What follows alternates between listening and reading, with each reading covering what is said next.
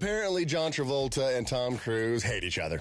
Oh, Wait, I thought they were both. No, a former security guard for the uh, Church of Scientology says that uh, Tom Cruise was awarded like the biggest prize you could possibly receive from Scientology. Like you are the best, biggest Scientologist of all. Okay, all right. Before Tom joined the church, John felt like he was the favorite son of David Miscavige, and then he was told uh, later on that he was going to get this Freedom Medal of Valor, that he was the Scientologist of all Scientologists by David himself. John was pissed. John, it was a slap in the face. wow. Mm.